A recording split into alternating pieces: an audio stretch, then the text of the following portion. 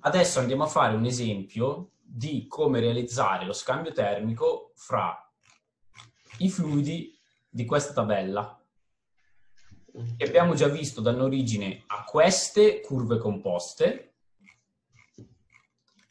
questa cascata di temperatura, questa tabella degli stream, la stream table, questa cascata, cascata fattibile e cascata fattibile, perfetto. Mm-hmm. Queste sono le eh, curve composte traslate in modo da annullare la differenza lungo l'asse verticale al pinch e questa è la cosiddetta grande curva composta sì.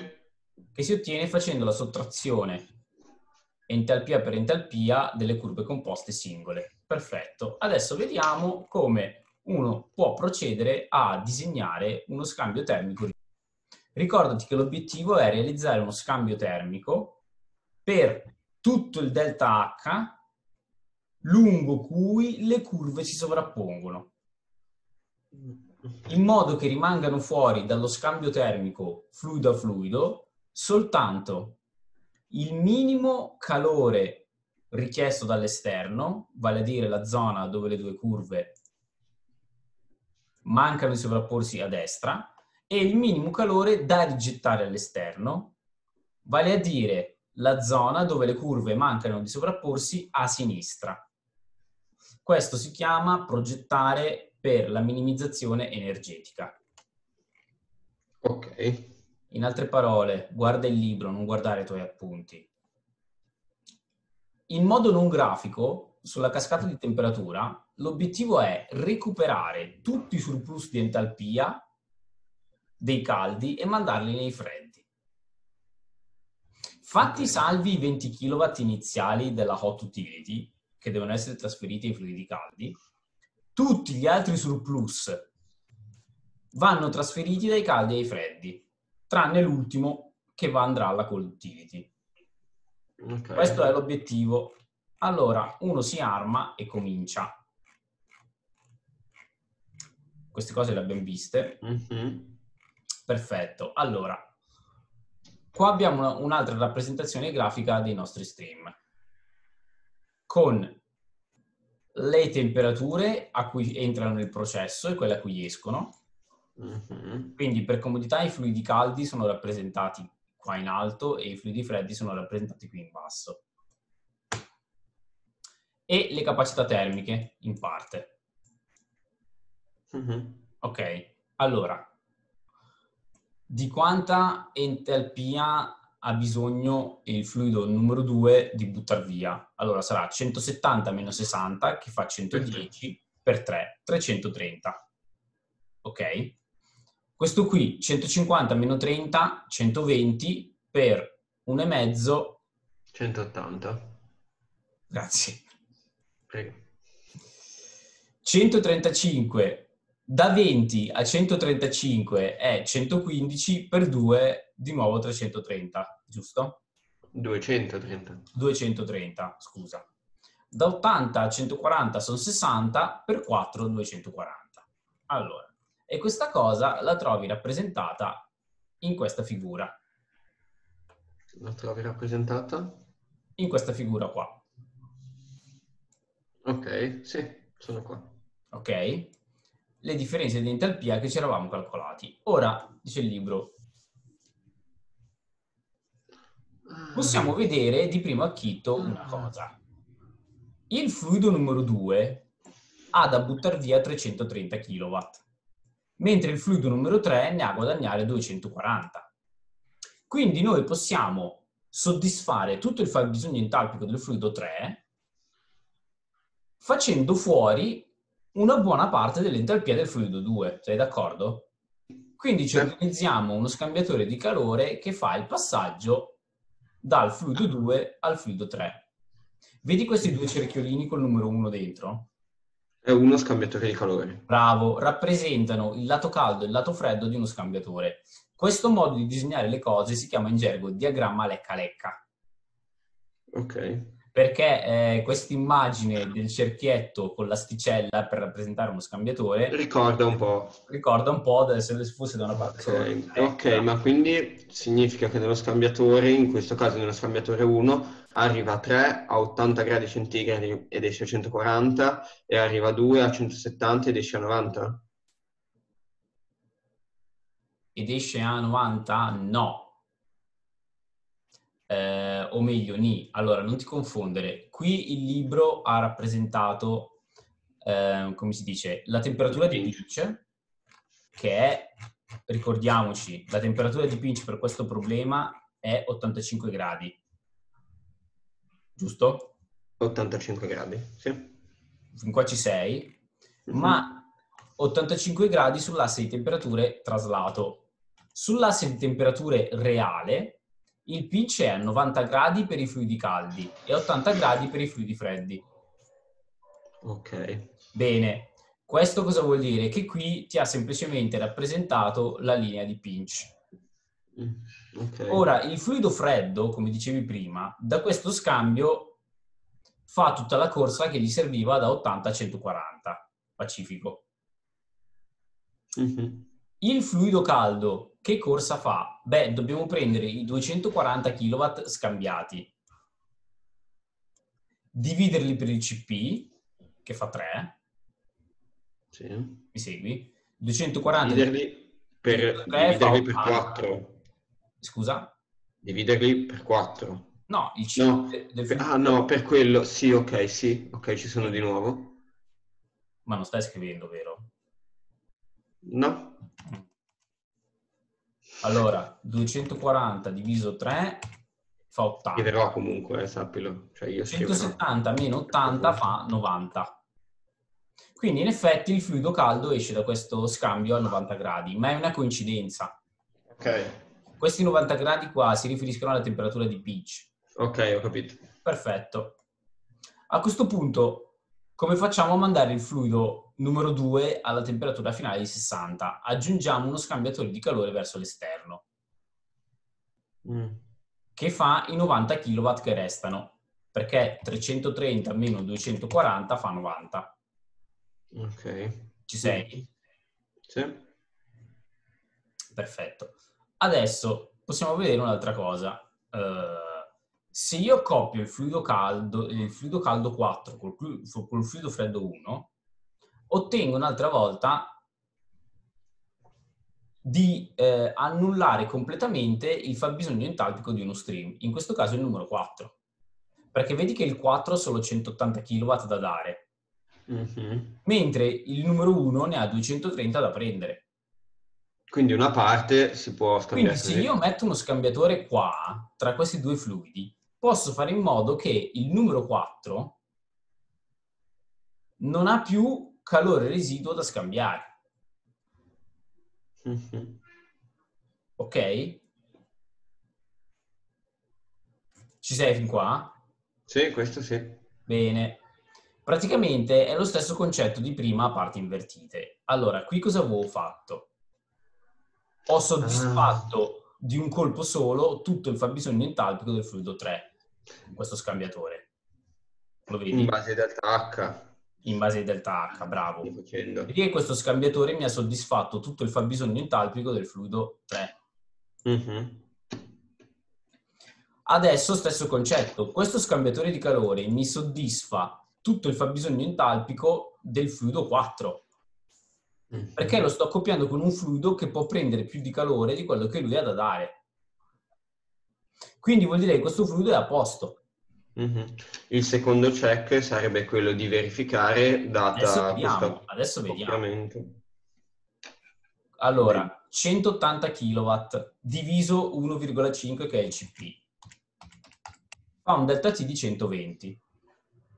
150 meno 120 è 30, esattamente la temperatura a cui dobbiamo arrivare. Okay. Adesso vediamo al fluido 1.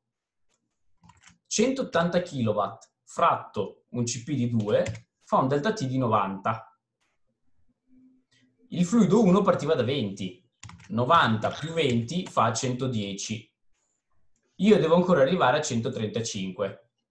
Quindi Questi 50 kW di differenza li devo Mm. supplire con uno scambiatore di calore esterno fornito dalla Hot Utility. Ok, Totale. Alessandro, seguimi per piacere. sono qua. Sto chiedendo 50 kW alla Hot Utility e 90 alla Cold Utility. Mentre il totale no. degli scambi rigenerativi è 180 più 240. Allora, 180 più 240 fa 420. Facendo le cose in questo modo, noi abbiamo 420 kW in rigenerazione, giusto? Mhm. 50 da chiedere al pozzo caldo e 90 da dare al pozzo freddo. Adesso torniamo un attimo più su e chiediamoci se la cosa è ben fatta. È, è questo che pensavo. Ecco, Che- allora, basta guardare questo grafico. eh, eh, ce ne sono 30 Allora, di più in gioco. questo grafico ci dice che in teoria noi dal pozzo caldo dovevamo chiederne 20, non 50. E al pozzo freddo dovevamo rilasciarne 60, non Mhm. eh, 90, come invece stiamo facendo adesso. Sì. Quindi, cosa vuol dire? Che stiamo chiedendo 30 kW in più al pozzo caldo per poi cederli al pozzo freddo inutilmente. Vale a Sì. dire che la nostra rigenerazione di 420 kW non è la migliore possibile. Mhm, Assolutamente. Anche perché lo andiamo a vedere dal grafico un po' più sopra. Allora, la zona di sovrapposizione totale, che parte da 60 e arriva a 500 circa, te la Sì. dice qua, la zona di rigenerazione totale disponibile è 450 kW, non 420, che è Eh. quello che riusciamo a totalizzare noi. Esatto, e infatti quei 30 kW che non riusciamo a prendere nello scambio termico si riversano nei 30 kW in più al heating e nei 30 kW in più al cooling. Perfetto, è come se noi stessimo lavorando con questa curva traslata verso sinistra di 30, il che ci aumenta di 30 questa zona qua e ci aumenta di 30 di questa zona qua. Bene, andiamo a vedere quindi qual è stato l'errore che abbiamo fatto. Perché per ottenere uno scambio termico non ottimale deve essere che noi abbiamo violato qualche regola. Allora, Ah. abbiamo messo un riscaldatore sopra il pinch e quindi questo va bene. Abbiamo messo un cooler sotto il pinch e quindi anche questo va bene. Quindi, se abbiamo violato una regola, dobbiamo aver violato per forza l'altra, cioè la prima, cioè abbiamo inavvertitamente realizzato uno scambio termico a cavallo del pinch.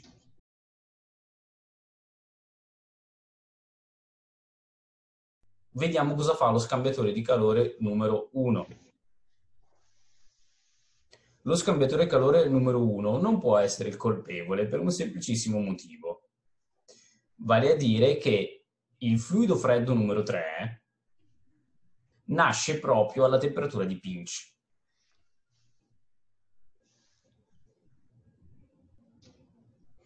Tutto lo scambio termico quindi se lo fa sopra. Vedi che la temperatura di ingresso nel sistema 80 gradi è uguale alla temperatura di pinch per i fluidi freddi. Quindi non può essere lo scambiatore di calore numero 1 il colpevole, deve essere il 2.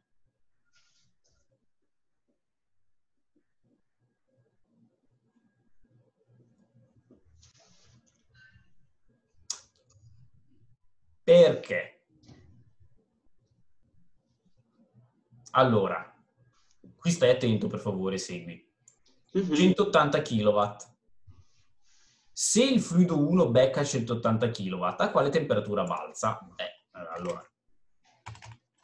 180 kW diviso il suo CP, che è 2, fa 90. 90 più 20, 110. Ma se il fluido 1 balza a 110 gradi con questo scambio, Mhm. mi segui? Vuol dire che una parte del calore se lo becca sotto il pinch. Ma questo calore dal fluido 4 viene rilasciato sopra il pinch.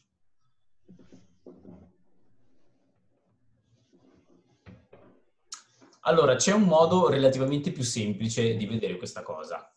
Guarda l'ultima colonna di questa tabella. Mm-hmm. Il fabbisogno entalpico o il surplus entalpico che noi avevamo calcolato in totale, il libro te lo splitta fra i kilowatt sopra il pinch e quelli sotto il pinch. Allora, vedi per il fluido 2, di questi 300 kW in totale che aveva da perdere, 240 erano persi fino a 90 gradi, cioè il pinch dei fluidi caldi, e 90 erano persi sotto. Mm-hmm. Sì. Bene, il fluido freddo numero 3, i 240 kW da guadagnare, erano tutti da guadagnare sopra il pinch. Mm-hmm. Quindi quando il fluido numero 2 gli ha trasferito i 240 che lui aveva da traspendere sopra, c'è stato uno scambio termico senza attraversare il pinch. Mm-hmm. Perché i 90 gradi residui, il fluido 2, li ha ceduti al cooler, cioè al pozzo freddo esterno.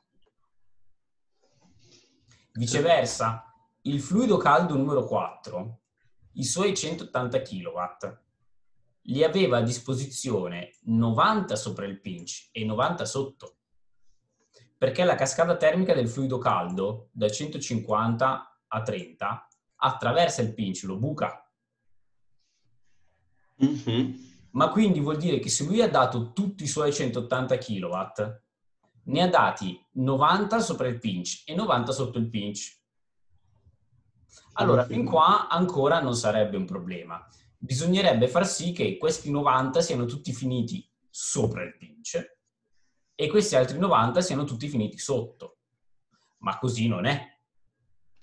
Perché abbiamo visto che i 90 kW sopra il pinch finiscono nel fluido 1 sopra, ma dei 90 di sotto, anche questi finiscono nel fluido 1 sotto il pinch.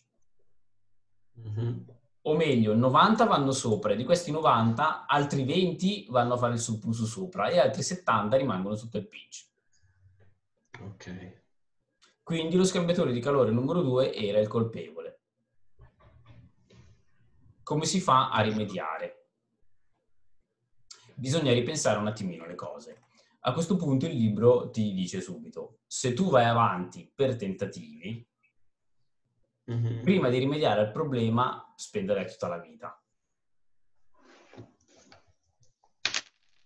Cominciamo a dirti come si fa. Bene, allora, noi abbiamo visto, eh, Alessandro, di aver violato la regola di trasferire calore a cavallo del pinch. Allora dice il libro, ma comincia a progettare il tuo network di scambiatori di calore al pinch.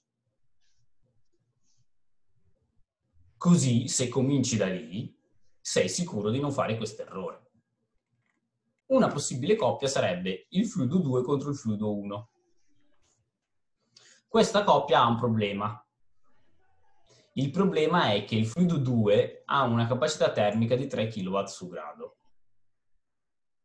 mentre il fluido 1 ha una capacità termica di 2 kW su grado.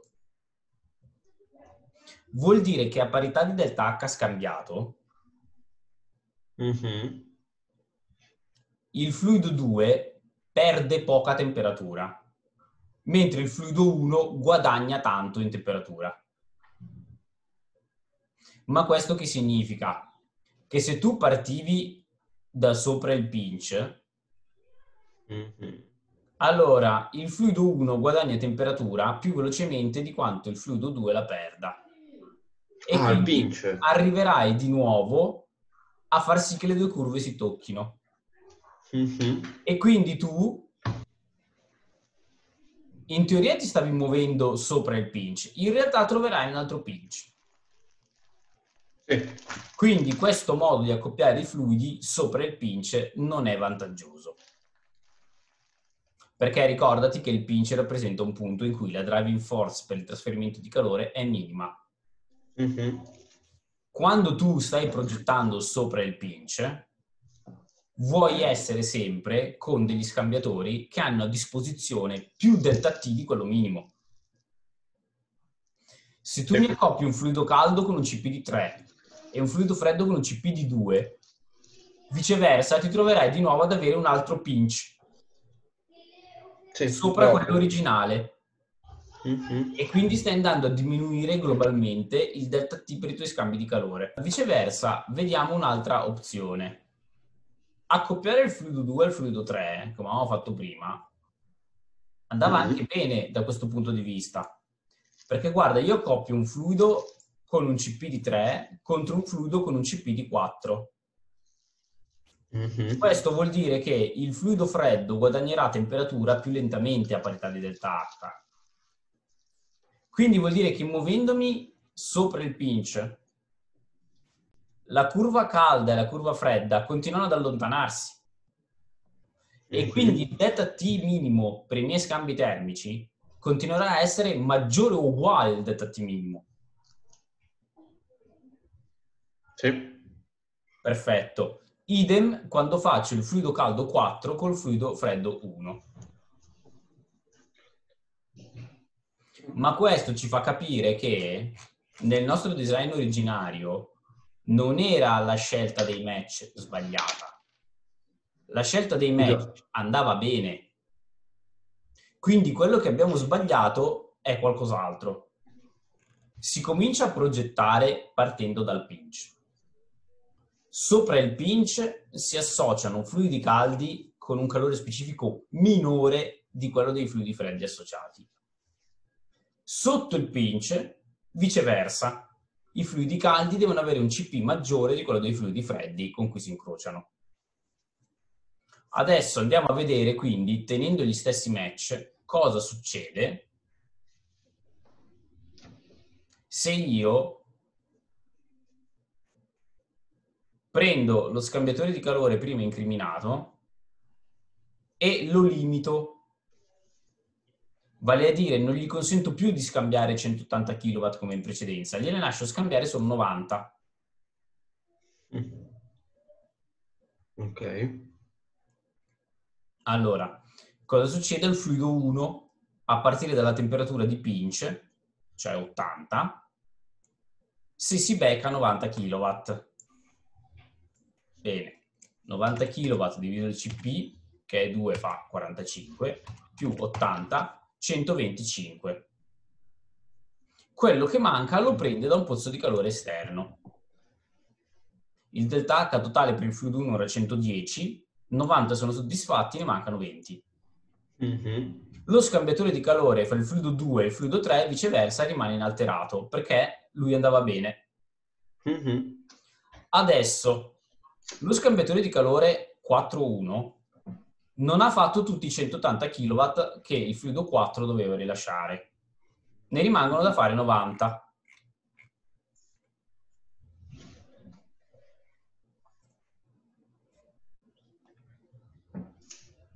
Ok? Da fare 90. Mm, aspetta.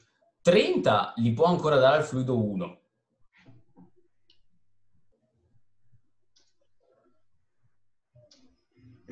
e 60 li darà al pozzo freddo esterno.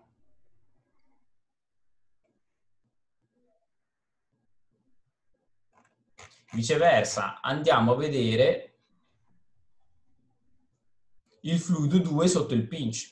Il fluido 2 sopra il pinch aveva scambiato 240 kW, non tutti i 330 che aveva a disposizione. Mm-hmm. Ma adesso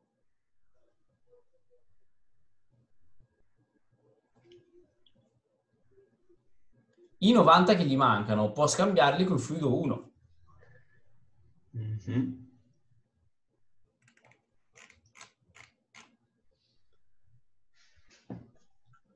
Perché il fluido 1 finora ne ha presi 20 più 90 più 90 dal fluido 4 e fa 200. Il suo fabbisogno era 230. Mm-hmm. E questo scambio è anche virtuoso dal punto di vista delle capacità termiche, perché il fluido è anche virtuoso dal punto di vista delle capacità termiche, perché il fluido 4 ha un CP di 1,5 e il fluido 1 di 2.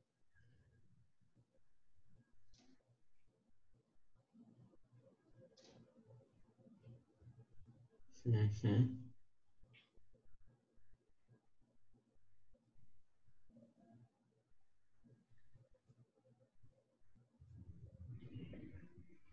Però c'è anche il fluido 2 di mezzo, che ha un CP di 3. Quindi nell'immediata vicinanza del pinch io rispetto la regola dei CP. Quando mi sono mosso un po' lontano dal pinch, la regola dei CP devo, posso anche rilassarla. Ok. Perché una volta che io sono andato via dal pinch, anche il fatto di avere un'inversione tra queste due curve non, non mi porterà verosimilmente ad avere un nuovo delta T minimo. Ok. Ora tu vedi che con questo nuovo design il cooler deve scaricare solo 60 kW e l'iter ne deve fornire soltanto 20. Mm-hmm. Morale della favola, ho rispettato i requisiti energetici ottimali. Ok. Mm. E come li ho rispettati? Punto primo, ho tracciato una linea divisoria al pinch e ho cominciato a progettare sopra e sotto il pinch come se fossero due problemi separati. Quindi ehm, la regola d'oro che dicevamo, non bisogna trasferire calore attraverso il pinch, si declina essa stessa in almeno altre due regolette. Prima sottoregola. Comincia a progettare dal pinch sopra e sotto come se ti trovi in due zone separate. Mm. Punto secondo. Quando sei sopra, i fluidi caldi dovrebbero avere un CP minore di quelli dei fluidi freddi a cui incroci. Quando sei sotto, viceversa, i fluidi caldi dovrebbero avere un CP maggiore. Quando ti sei mosso un po' lontano dal pinch, queste regole possono essere rilassate. Sopra il pinch non inserirai mai un cooler e sotto il pinch non inserirai mai un heater. Immagina eh, di tornare un attimo al design non ottimale.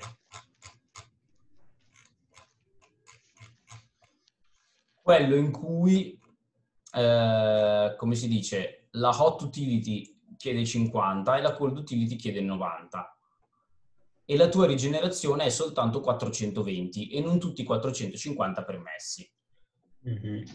Adesso, eh, da un punto di vista energetico, siamo in perdita, ma da un punto di vista economico non necessariamente. Perché?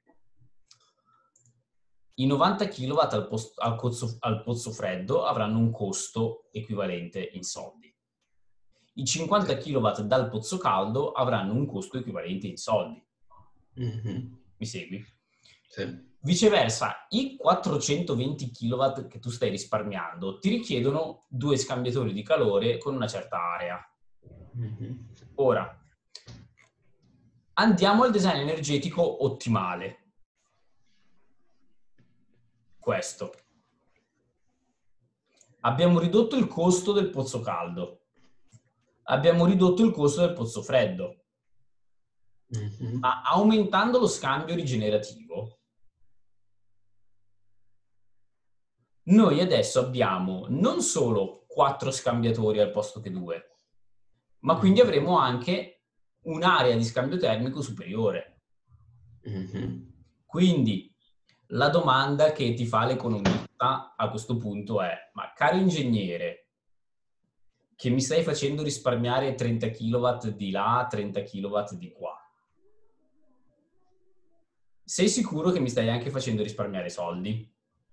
No, perché ti dice l'economista, io piuttosto di comprare due scambiatori di calore in più, per recuperare 30 kW di scambio rigenerativo, preferivo pagare 30 kW in più di metano, sai?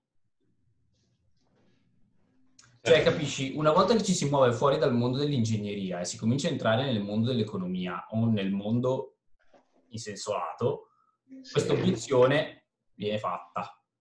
Sì, sì, certo. Cosa mi costa di meno? Il super targeting vuol dire non prefiggiamoci solo come obiettivo risparmio energetico, prefiggiamoci come obiettivo il risparmio totale. Allora, in questa figura puoi vedere, immaginiamo che la hot utility, il costo della hot utility salga al crescere della temperatura minima tra le due curve. Perché? Te lo ricordi bene?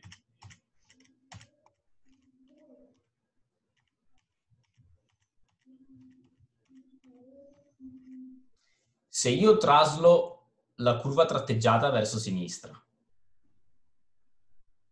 e quindi faccio salire il delta T minimo, mm-hmm. allora allargo la zona da coprire con il pozzo caldo. Mm-hmm. Idem a sinistra. Se io le traslo e quindi anche la distanza in verticale aumenta, aumenta la zona da coprire col pozzo freddo. Mm-hmm. Bene, ma se le temperature, ma se le due curve, traslandole, acquistano distanza in verticale, l'area degli scambiatori di calore che fanno lo scambio sarà più piccola, mm-hmm. perché il delta T minimo è più grosso. Mm-hmm. Quindi torniamo a questo grafico qui. Se aumenta il delta T minimo, il costo dei fluidi di servizio, le cosiddette utilities, mm-hmm. sale. ma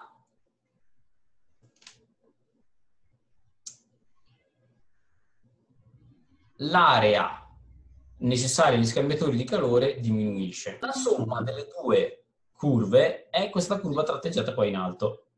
Mm-hmm. E vedi che non è monotona, ha un punto di ottimo. Sì.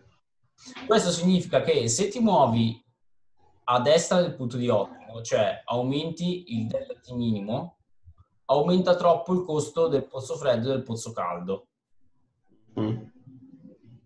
Mentre se ti muovi troppo sotto la temperatura minima, tu praticamente vai a spendere il minimo possibile per le utilities, ma ti trovi a dover fare degli scambiatori con un'area troppo grossa per soddisfare tutta la potenza rigenerativa che riesci a fare. Mm-hmm e tutta quella potenza rigenerativa, cioè nel momento in cui ne fai di più, la fai anche con il delta T minore a disposizione. Sì, sì, sì. Quindi ogni problema, quando vai a considerare anche i coefficienti di costo economico, ha un suo delta T di ottimo. Ok.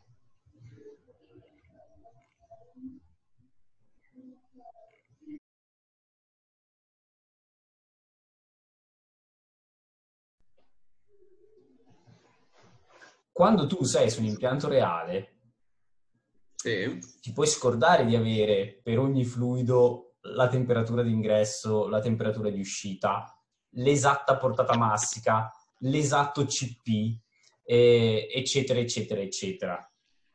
È mm. un macello. Perché eh, è chiaro che eh, in un impianto reale, eh, per dire alcune portate, alcune temperature si conoscono benissimo Uh-huh. Altre invece no. Non se le caga il striscio nessuno. E per quanto riguarda i calori specifici, eh, ancora peggio. Eh, cioè, i calori specifici o si tratta di fluidi puri e allora te li puoi ricavare dalle tabelle, ma comunque te li, sempre, te li, te li devi sempre procurare tu. O viceversa, se si tratta di miscele e non di componenti puri, i calori specifici non li sa nessuno. Okay. E te li devi, ad esempio, retro-ricavare. Ad esempio, un modo molto, molto, molto diretto, che però mm. purtroppo è un caso, come si dice, è un caso fortunato, se tu hai un fluido, anche la miscela più sconosciuta del mondo, che a un certo punto scambia calore con dell'acqua. Ah, ok. E tu conosci la portata di acqua e il delta T dell'acqua, allora sei a posto, perché hai tutti i dati per ricavarti il salto entalpico e quindi anche il CP del fluido, a patto che però tu abbia anche le temperature dall'altra parte e anche la portata dall'altra parte. Assolutamente. No...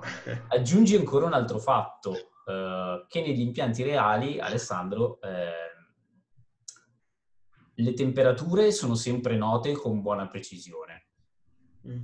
e molto spesso sono note quasi dappertutto perché i sensori di temperatura, oltre a essere affidabili, costano anche poco.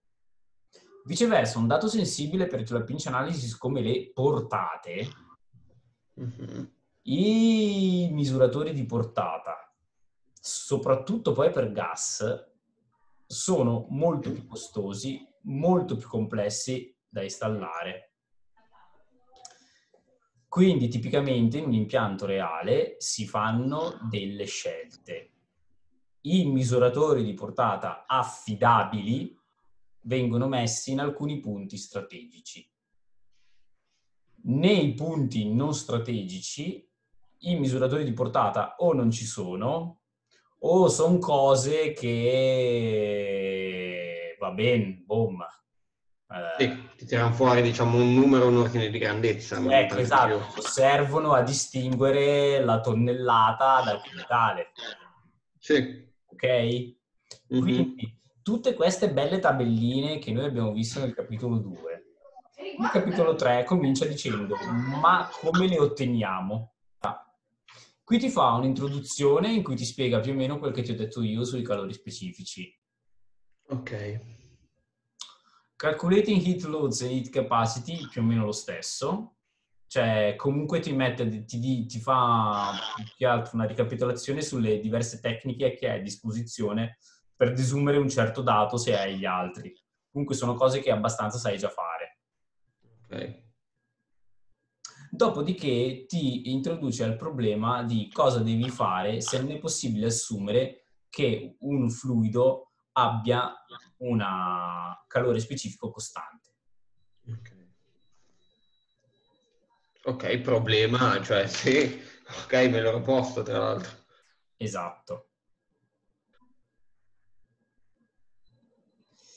La soluzione è appunto eh, di allora riuscire a sapere in qualche maniera fin dove un'approssimazione lineare è valida e quando non lo è più bisogna uh, spezzare le cose. Ad esempio, vedi il fluido caldo nella, nella figura 3.1? Sì. Ecco, ti fa una linearizzazione a tratti.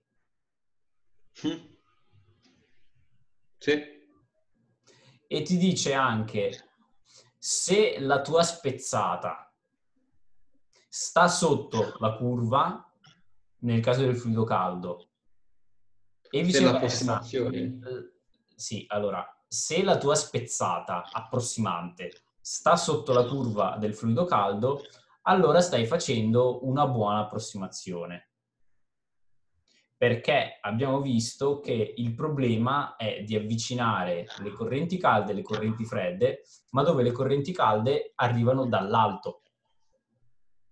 Sì. Quindi se la tua curva approssimante è in difetto, quando arrivi a calcolare il delta T minimo con la tua approssimazione, il delta T minimo a disposizione in realtà sarà un pochino superiore. E quindi vuol dire che il tuo progetto è conservativo, ma non è troppo ottimistico. Sì, sì, chiaro. Chiaro questo? Mm-hmm. Bomba. Allora, e con questa parte direi che abbiamo finito. Scegliere i flussi. Ecco, questa è una faccenda un po' più complessa e anche un po' più delicata. Allora, cerca di seguire il ragionamento. Ok. Eh, questo esempio te lo spiega proprio chiaramente. Tu hai questo processo qua. Mm-hmm. Niente, praticamente hai un'alimentazione parecchio fredda. che si è scelto di creare un, uh, un serbatoio di accumulo un pochino più tiepido, dopodiché eh, dal serbatoio di accumulo attraverso dei preriscaldamenti vai a una distillazione. Il serbatoio di accumulo serve perché ehm, anche su uno schema così semplice facciamoci delle domande perché c'è sempre qualcosa da imparare. Evidentemente la distillazione funziona in continua. Ok. In questo impianto è necessario distillare una portata tipica. Una portata? Tipica. Tipica. Ok. Nel corso del tempo ci si è accorti che non si riesce sempre a garantire un'alimentazione uguale alla portata tipica. Mm-hmm. Eh, magari ci sono dei giorni in cui l'alimentazione può essere un po' inferiore e certi giorni in cui l'alimentazione è un pochino superiore. Allora tu con un serbatoio d'accumulo risolvi anche questo problema. È un polmone sostanzialmente. Eh, esattamente. Chiaro. Un altro caso potrebbe essere, non, non, è questo il caso perché stiamo andando in una torre di distillazione, però immaginati viceversa se a valle ci, ci fosse un sistema di trattamento acque. Valle, ok. Allora, una qualsiasi acqua non trattata che deve entrare in un sistema di trattamento, devi farla passare attraverso dei decantatori e delle griglie mm-hmm. che trattengono i sassi e la sabbia. Allora, immaginiamo che il nostro fluido attraversa eh, in un diagramma di, te- di, temperatura ed entalpia percorre questa curva. Mm-hmm. Allora, è una curva che noi dobbiamo scegliere di linearizzare a tratti. Perché nelle nostre tabelle della pinch analysis noi entriamo con dei calori specifici costanti. Ok. Mentre invece questa curva capisci benissimo che qui il calore specifico che cos'è? Non è nient'altro che l'inverso della tangente punto per punto. Sì. In una linea curva la tangente cambia continuamente. Mm-hmm. Bene, come facciamo a scegliere i tratti di spezzata?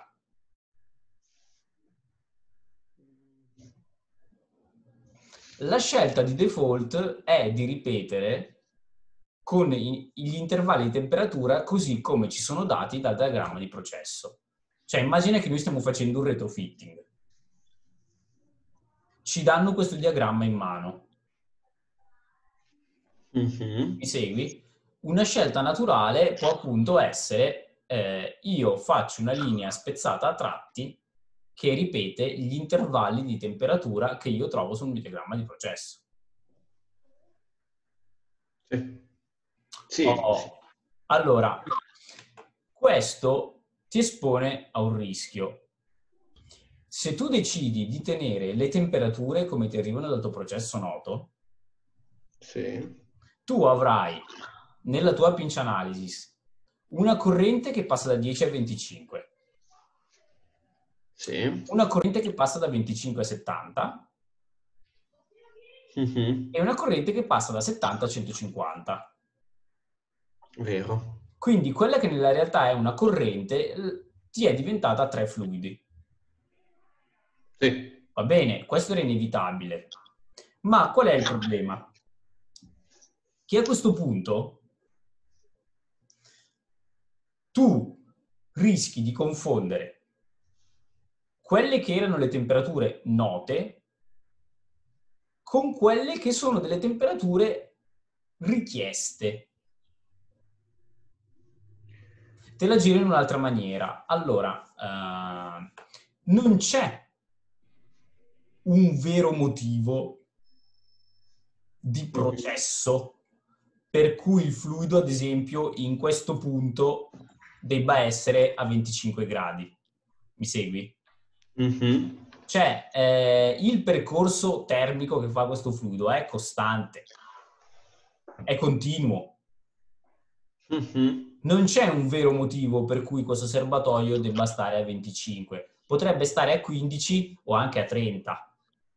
Sì. Ovviamente tu, quando ricevi in mano un diagramma del genere, devi fare il retrofitting, è chiaro che cominci a basarti sui dati noti. Sì. Quando però tu ti fai la tua tabellina con il fluido 1 che passa da 10 a 25 e il fluido 2 che passa da 25 a 70.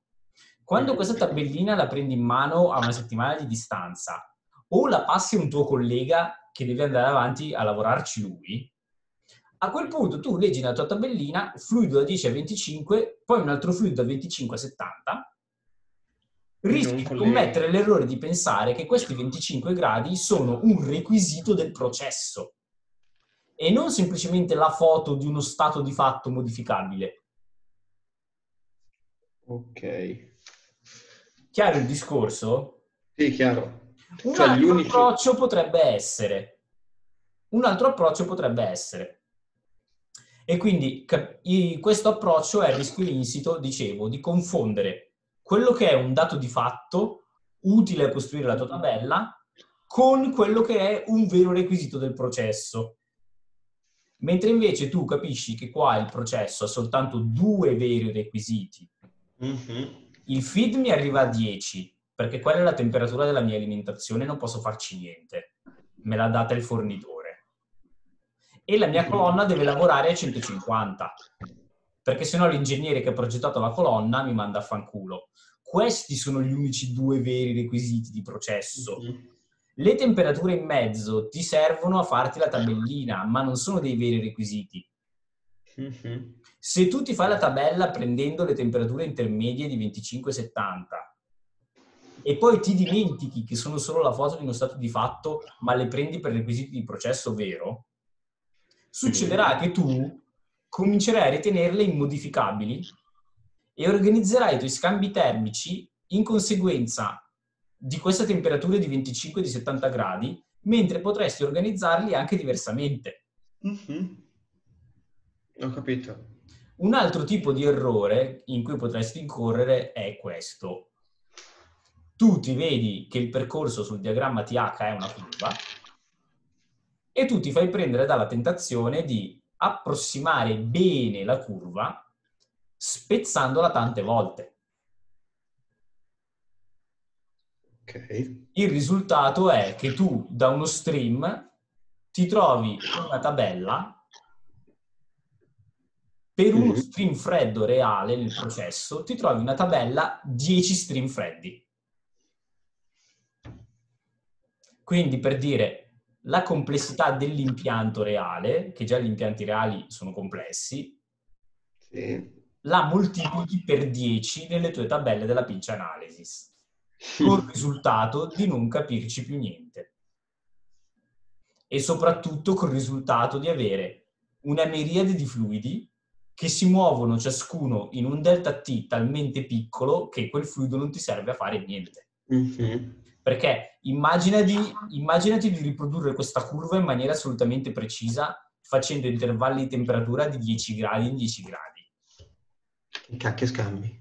È bravo. È chiaro che dal punto di vista geometrico, euclideo, matematico hai fatto la migliore approssimazione più piccola, ma poi con un fluido che deve fare un delta T di 10 gradi, che cazzo ci fai?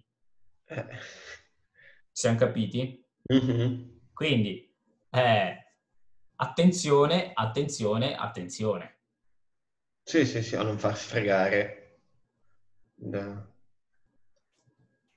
allora, il mixing, eh, come già ti accennavo un'altra volta, crea dei problemi perché quando tu mischi due fluidi a temperature diverse si crea uno scambio di calore latente. Sì. Quindi, come fai ad estrarre i dati dal processo per metterli nella tua pinch analysis quando hai un mixer che lavora a temperature diverse? Mm. L'esempio è, è lampante. È, allora, tu se tu eh, prendi i dati così come te li trovi, mm-hmm. da ad esempio due fluidi che si mischiano, vanno a 80 gradi e poi devono scendere fino a 30, ti trovi una linea nel diagramma TH che è come questa riga nera continua. Mm-hmm. Se invece risolvi questo scambio di calore eh, latente, vale a dire se tu tratti i due fluidi separatamente, immaginando che il fluido 1 debba andare a 30 gradi da solo e il fluido 2 debba andare a 30 gradi da solo, ti troverai in un diagramma TH come la linea tratteggiata. Ok. Allora, in questo caso, qual è la rappresentazione più aderente alla realtà? In teoria nessuna delle due.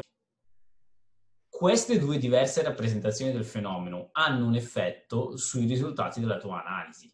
Mm-hmm. Mi segui? Certo, sì. Ecco, eh, allora, in teoria il modo più corretto è il secondo. Mm-hmm. Perché il secondo ti lascia aperta la possibilità di valutare l'inserzione di scambi di calore anche a monte del mixer. Mm, sì. Mentre invece se tu adotti il primo approccio, cioè di considerare il fluido soltanto a valle del mixer, allora poi tu hai che il tuo fluido entra nel processo a 80 gradi. Mm-hmm. Il percorso fatto dai fluidi da 100 e da 70 fino al, al punto in cui si mischiano, te lo perdi. Mm-hmm. Sì, sì. Chiaro? Assolutamente. Anche se dal punto di vista entalpico è la stessa cosa, perché fino al punto di mixing i due fluidi originari non scambiavano entalpia con niente. Mm-hmm. Quindi se lo scambio entalpico avviene soltanto da 80 a 30. Sì, sì, con l'esterno, diciamo. No, no, no, no, no, non confondere il fatto che qua è stato messo uno scambiatore di calore nella figura. Mm. Se tu hai un fluido di CP3 che cade da 80 a 30, Sì, hai fatto 150 kW, giusto? sì. Adesso fai da 70 a 30 con CP2, cosa ti viene? Mm. 80. Ah, eh, sì, c'è scritto sotto. Da 100 a 30 con CP1 ti viene 70. 70 a Mm. 70 150. Quindi vedi che dal punto di vista del bilancio energetico tutte e due le rappresentazioni sono fedeli dal punto di Mhm. vista del delta H. La Sì. prima rappresentazione però ti farebbe dire che c'è un fluido che entra nel processo a 80 e esce a 30. La seconda rappresentazione invece ti fa dire c'è un fluido che, esce- che entra a 100 e esce a 30 e un altro fluido che entra a 70 e esce a 30. Mhm. Cioè, nella prima rappresentazione tu hai un fluido a disposizione che parte da una temperatura più bassa. Nella seconda rappresentazione hai due fluidi a disposizione che partono da temperature diverse. Mhm. Adesso hai capito un po' meglio il concetto? Sì, questa cosa sì, l'ho capita. Questo è un esempio per dire come eh, davanti ai dati di un impianto reale estrarre i dati in un modo piuttosto che in altro ti causa differenze nei tuoi diagrammi. Davanti ai dati di un impianto reale. Cerca di capire, parlando con la gente, confrontando documenti diversi relativi all'impianto, quali dati sono veri requisiti del processo e quali dati invece ti arrivano in mano semplicemente perché sono a disposizione. Ok. Ti faccio un esempio. Eh, c'hai un una macchina di quelle grosse in cui quindi il, il sistema di olio lubrificante che lubrifica la macchina eh, scambia calore con uno scambiatore ad acqua. E la macchina è abbastanza grossa e importante da far sì che ci siano misure di portata e temperatura, eh, temperatura sull'olio e temperatura e portata sull'acqua. Mm. Mi segui? Ora, secondo te, ti danno in mano una tabella con tutti questi dati. Allora, secondo te, Alessandro, tra il delta T dell'olio, fluido caldo, e il delta T dell'acqua di raffreddamento, fluido freddo, quale delta T rappresenta un requisito di processo e quale invece è modificabile? Mm, il requisito di processo è il delta T dell'olio. Il, quello sarà il requisito di processo. Quindi sì, tu inserirai nella tua tabella quello stream caldo, lo inserirai esattamente con le temperature che ti arrivano dai dati dell'impianto. Uh-huh. Viceversa, l'acqua fluido freddo, tu la inserirai sì nella tabella con le temperature che ti arrivano dati dell'impianto, perché sennò non sai cosa mettere dentro. Però ti prenderai una nota mentale che quelle temperature, nel caso, non sono sacrosante. Non modificabili. Cioè, hai capito? Uh-huh. Se quest'acqua entra a 20 e esce a 30, ma tu ti accorgi durante l'analisi che sarebbe più comodo farla entrare a 25 e farla uscire a 35, non ti porrai tanto il problema. Uh-huh. Anche perché se è un fluido di raffreddamento magari non è neanche a disposizione la portata effettiva. Eh. O magari la portata effettiva è regolata dinamicamente semplicemente per, per garantire il raffreddamento necessario. Uh-huh. Ok? Sì, chiaro. Sì, Questo sì. vuol dire identifica i possibili vincoli di processo uh-huh. e prova l'ottimizzazione energetica assumendoli come intoccabili, ma anche no. Cioè, se tu a un certo punto, facendo la tua pinch analisi, ti accorgi che, ah, se questo fluido fosse più freddo o più caldo di 5-10 gradi, io troverei un incrocio termico molto vantaggioso con un altro fluido in quel punto là. A questo punto tu esplora la soluzione, perché magari ti salta fuori che quelle temperature che tu vorresti fossero diverse di 5, 10 o anche 15 gradi, mm magari possono effettivamente essere diverse. Basta semplicemente spostare un pochino il punto di funzionamento dell'impianto. Mm. Anche perché, eh, tieni presente una cosa, eh, in un impianto chimico eh, mm. Dove si fanno reazioni, cioè dove si fanno reazioni ne- non enzimatiche, come nel 90% degli impianti grossi, non è che tu devi per forza avere una temperatura precisa, precisa, precisa per qualsiasi cosa, capisci? Uh-huh. Cioè, sì. Un conto sono i reattori eh, batch che fanno reazioni con gli enzimi, con le alghe, con i brodi organici, che allora sì, si sa che gli enzimi, per dire, vogliono temperature di funzionamento precise, precise se no non vanno avanti. Ma, cioè, eh, eh, se tu il greggio in una colonna lo butti dentro a 300 gradi o 290 o 310, non cambia niente. Eh, praticamente no. No, eh, sì. Mm-hmm. Ovviamente, se il greggio in una colonna deve entrare a 300, data la pressione di colonna e dato il tipo di greggio, non glielo puoi buttare a 250. No, no. ma da 300 a 290 ci potresti andare tranquillamente. Se la tua analisi energetica ti dice che sarebbe più bello avere quel fluido lì a 290 mm. invece che a 300. Qua ti fa un esempio sul data extraction. Ok.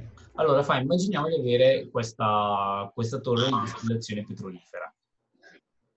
Okay. è una versione iper semplificata delle cosiddette torri atmosferiche. Ok, va bene. Allora, qui c'è, qui c'è il pre-flash. Mm-hmm.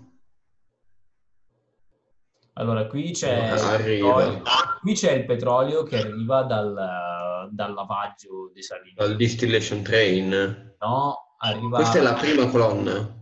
Questa è la prima colonna, esatto. Qua okay. c'è il petrolio che arriva dal lavaggio... Col sale, dalla desalazione. Bravo, esatto, esatto. Qua c'è la, la fornace in cui viene almeno parzialmente scaldato, de- vaporizzato Mm-hmm. Ok? Qui c'è, questo lo chiama dehydrator, questo sarebbe il primo flash, lo chiama dehydrator perché eh, l'acqua che sta mm-hmm. dentro al petrolio un po' deriva dai lavaggi, un po' viene lo eh, vapore iniettato come acqua dolce, va praticamente quasi tutto in testa. Per questo lo chiama anche dehydrator. Ok. Ok, va bene. Comunque, la frazione liquida... No, la frazione liquida. Una parte, quindi una parte del vapore più quello che rimane di liquido entra sotto. Questo lo fa entrare a metà. Questa è la prima distillazione, quella più grossolana, in cui una parte del taglio leggero viene usata anche come riflusso della colonna. Mm-hmm. Dopodiché c'è, vabbè, il taglio pesante che proseguirà a fare la distillazione sotto vuoto. Sì. E poi invece c'è il taglio medio. Mm-hmm. Quindi, insomma, da qua tirerei fuori le paraffine dal taglio sotto. Da qui tirerei fuori le nafte e da qui invece le nafte pesanti. Esatto. Sì, sì, chiaro, chiaro. Comunque ti dice, eh, ti fa un esempio di una raccolta dati reale e quindi incompleta. Cioè, ad esempio, Overheads è lo stream su cui tu hai in assoluto meno informazioni. Mm-hmm. Ma perché? Che cos'è l'overheads nel processo? È questo qua, è questo stream qua, che esce dalla testa.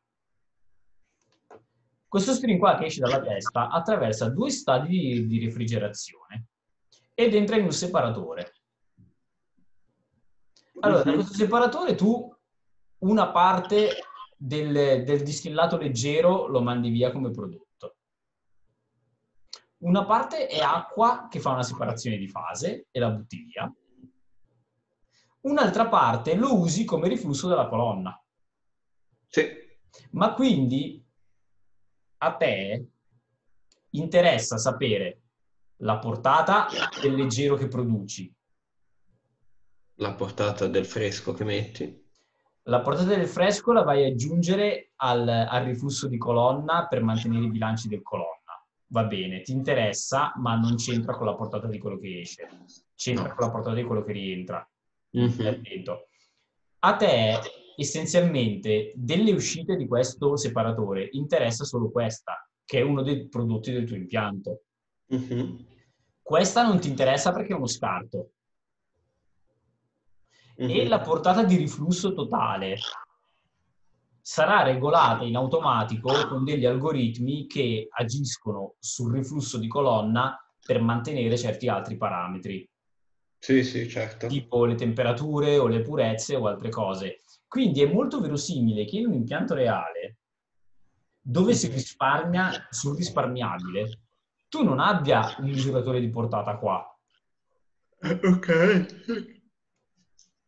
Capisci? Mm-hmm. E questo è il punto. E quindi ti fa vedere realisticamente, ti arrivano in mano i dati di impianto in cui tu questa portata qui non ce l'hai.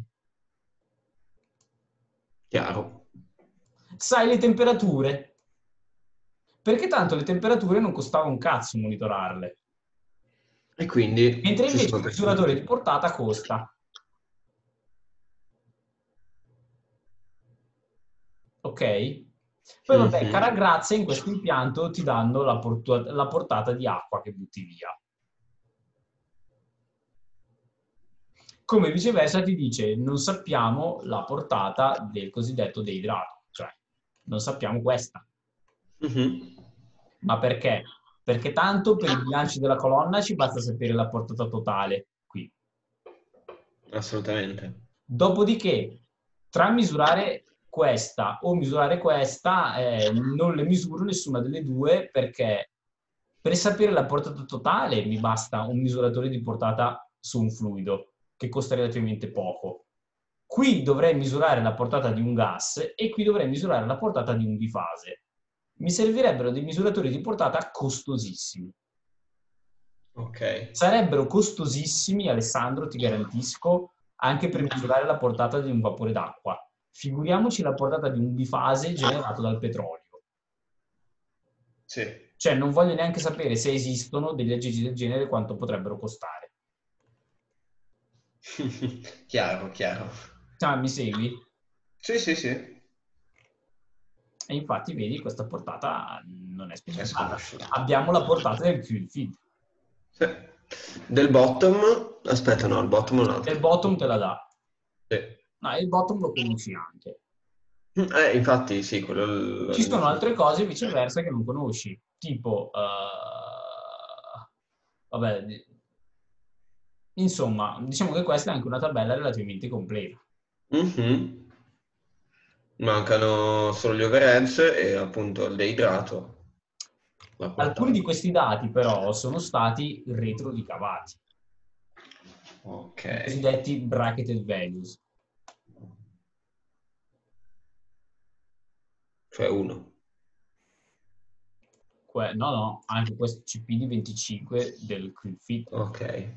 Lo ha retrocalcolato sapendo probabilmente che cosa? Che eh, in questo scambiatore mm-hmm.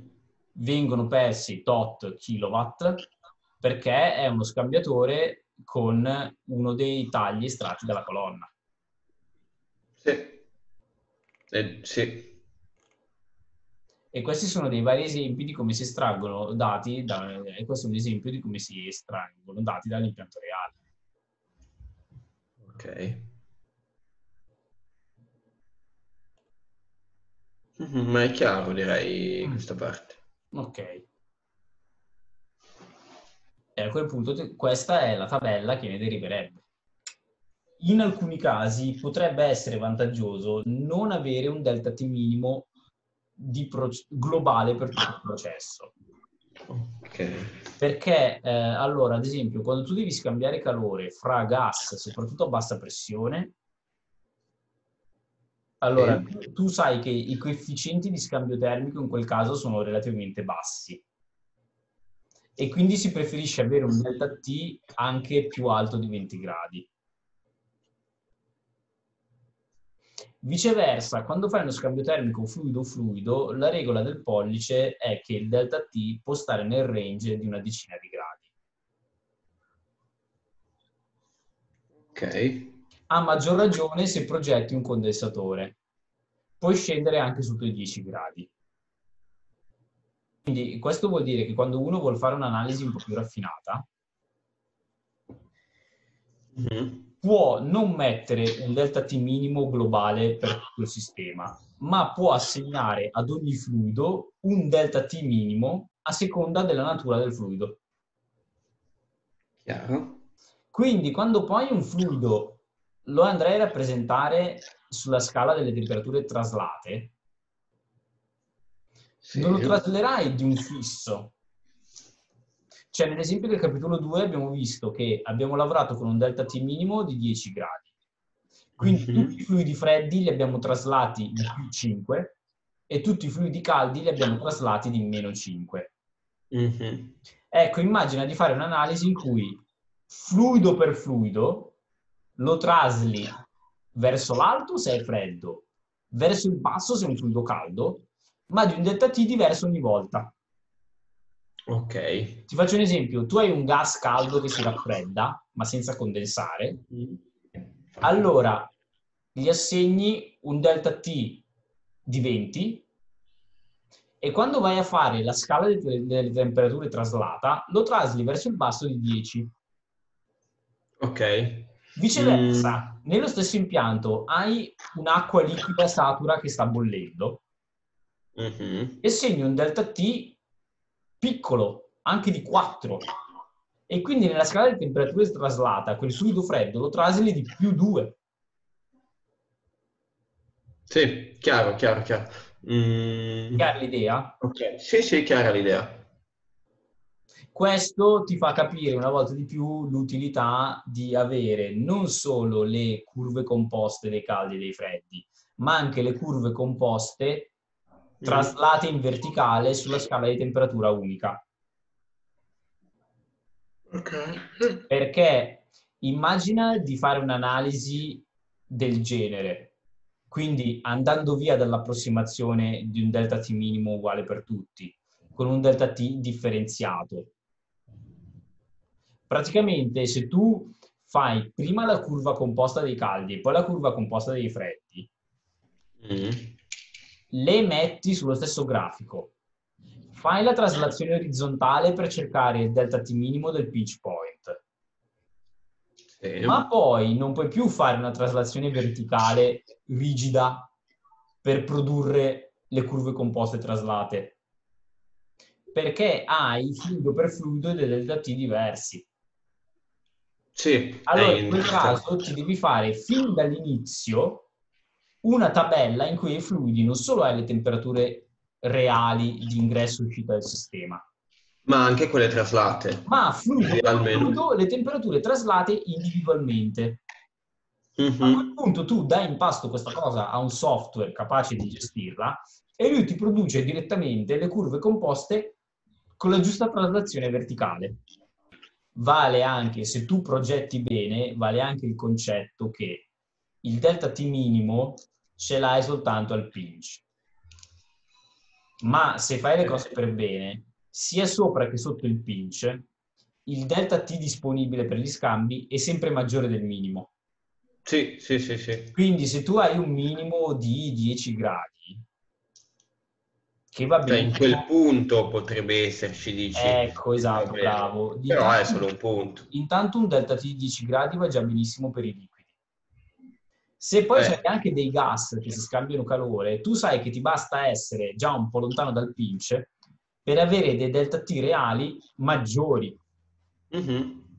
Okay. E quindi chi se ne frega, sì, sì, sì. Quindi, esatto. Eh, compito casa è riscrivere il programma MATLAB per trattare delta T minimi individuali. Eh. Allora, i problemi cosiddetti a soglia sono i problemi in cui una delle due utilities, la calda o la fredda, o tutte e due, non sono necessarie. Pronto? Ok. Sì, sì, sì. Allora,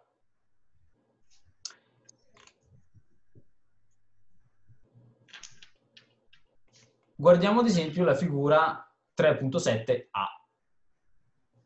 3.7a. Ok? Ok. Quale okay. delle correnti di servizio non è necessaria? Uh, l'iter.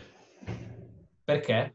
Punto 7a. Perché eh, se guardi i, i, delta H, se guardi nella parte, in a, nella parte a destra, vedi che si può raggiungere per entrambi le temperature col delta Perfetto. Nell'altra curva idem. Uguale. Anche qua è l'iter a non essere necessario, mentre ti serve sempre il pozzo freddo. Qual è la differenza? La differenza è che in un caso uh-huh.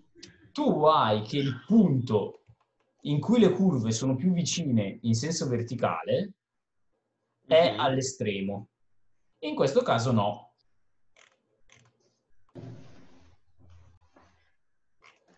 Allora, questo guarda come si riflette sulle grandi curve composte, cioè le curve di sottrazione.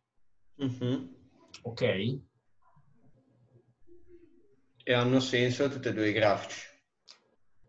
Sono, attenzione, allora apparentemente tu sei partito dallo stesso threshold problem, cioè un problema in cui è necessario soltanto il pozzo freddo ma non la sorgente calda. Però guarda la differenza nelle curve composte. Eh, quella dove c'è il delta T minimo eh, non all'estremo, cioè in corrispondenza un, un pinch a una temperatura intermedia. Oh, perfetto. E questo è importante. Perché nel secondo caso, tu per fare una buona progettazione termica, devi mm-hmm. comunque trattare questo punto come se fosse un vero pinch di processo. Sì. E quindi applicare le regole di cominciare a progettare da lì, dividendoti in due zone chiaramente distinte, una sopra e una sotto, accoppiando i fluidi caldi con CP minore sopra e i fluidi caldi con CP maggiore sotto, eccetera, eccetera, eccetera. Qui invece sei più libero. Nei casi come questi eh, puoi progettare, scusa, dal non utility hand, scusa, dall'alto. Nei casi come secondo devi progettare dal mezzo. Chiaro. Mm. Bisogna stare attenzione, attenzione ai threshold problems, insomma. ok. Questo tipo di problemi poi ha una caratteristica molto interessante che però la vediamo tra un attimo. Non te l'anticipo, la vediamo quando è il momento. Va bene. Ok? Uh-huh. Questo tipo di problema anche, ma soprattutto questo. Okay, ok. Allora, i tipi di eh, correnti ausiliare. Allora, qui ti fa un, breve, diciamo, una breve lista delle principali correnti ausiliari che trovi negli impianti.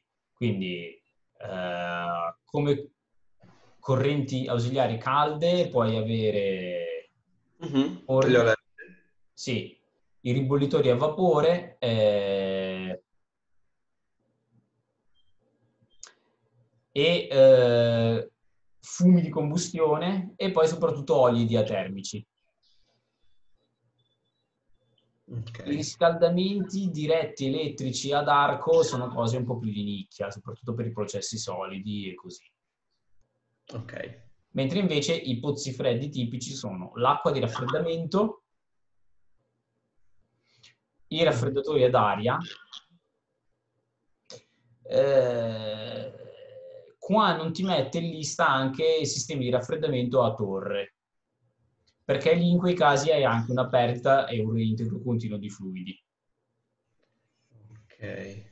Poi vabbè ci sono tutti i sistemi di criogenia, il Chile 2 3 System, eccetera, eccetera, eccetera. Sì, sì, sì, sì. Allora, la cosa che ci interessa di più a noi è che i pozzi, sia freddi che caldi, li possiamo dividere in due categorie. Quella è temperatura fissa e quella è temperatura variabile. Ok. E in che senso? Eh, fa una bella differenza, nel senso che ho detto, allora, eh, immaginate di avere vapore a bassa pressione utilizzato come sorgente di calore. Quindi fai finta eh, 15 bar 300 gradi. Mm-hmm. Ok? Quello fornisce calore a 300 gradi finché non condensa. Sì. Ora invece immagina di, di, di, utilizzare come sorgente calda un fumo di combustione.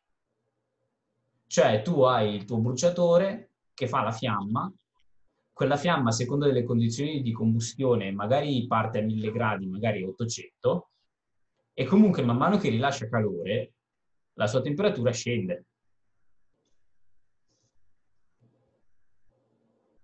Sì, sì, chiaro. Idem se usi come sorgente di calore un vapore surriscaldato, che prima di arrivare te- al punto di rugiada fa anche lui una cascata termica. Ok. Un olio diatermo è in una condizione intermedia fra le due. Perché? In teoria un olio diatermo non ti rilascia il calore a temperatura costante, come un vapore condensante però ha una capacità termica molto più alta di quella di un gas di combustione. Quindi rispetto a un gas di combustione, un olio diatermo è capace di rilasciarti il calore con un delta T di 10-15 gradi. Sì, che quindi è quasi come fosse a temperatura fissa. È, è un buon ibrido. È un buon ibrido. Ok, va bene. Mm, ci siamo come concetto? Sì, sì. Mm-hmm. Allora andiamo a vedere che cosa ci cambia. Allora, cominciamo per semplicità dalle sorgenti di calore a temperatura fissa. Ok? Tra parentesi, questo vale anche per i pozzi freddi. Una corrente di aria raffreddante è una tipica pozzo freddo a temperatura variabile. Sì perché una corrente d'aria, insomma, non ha una grossa inerzia termica. In genere si cerca di mantenere questo salto di temperatura eh, entro limiti ridotti incrementando la portata d'aria. Quindi se il CP specifico dell'aria è piccolo, usando una grande portata riesco a ottenere un CP globalmente grosso. Viceversa, l'acqua di raffreddamento è già un pozzo freddo che in teoria è temperatura variabile, ma nella pratica lo puoi considerare temperatura quasi costante. Mm, okay. il, tipico esempio, il tipico esempio è quando uno utilizza acqua di fiume per raffreddare i condensatori delle centrali termoelettriche. Perché lì eh, cosa succede? I requisiti di legge ti dicono che l'acqua di fiume non la puoi ributtare nel fiume più calda di un tot, altrimenti fai la zuppa di pesce. esatto. E quindi tu eh, quello che puoi fare al massimo è aumentare la portata prelevata. Mm-hmm. Però dal punto di vista del progetto del condensatore, tu per amore o per forza hai un'acqua di raffreddamento che ha temperatura praticamente fissa. Sì. Ok. Anche se in realtà è acqua e non è un vero pozzo freddo a temperatura fissa come ad esempio un liquido che evapora. Sì, sì. Ecco, Vero. perché ad esempio in un sistema criogenico tu hai un liquido che evapora e temperatura fissa. Mm-hmm. Viceversa, in quello tu puoi anche avere un pozzo freddo a temperature alte, tipo immagina di far bollire acqua a un'atmosfera. Ok. Questo è un pozzo freddo a 100 gradi e temperatura fissa. Sì. Ricordati che noi per pozzo freddo intendiamo qualcosa in grado di chiappare calore. Mm-hmm. Ok? Sì, se, tu... se la nostra stream è a 200... Bravo, bravo. Se tu hai una corrente calda a 200 gradi, l'acqua bollente fa da pozzo freddo, anche se è acqua bollente. Chiaro il concetto? Mm-hmm. Quindi non confondiamo il gergo corrente calda e corrente fredda dell'ingegnere chimico con il caldo e il freddo eh, che interpretiamo. Classici, eh. sì, sì, sì. Ok, allora. Guardiamo subito che cosa si intende per il principio del giusto posizionamento sui grafici. Qua ti fa un bellissimo esempio.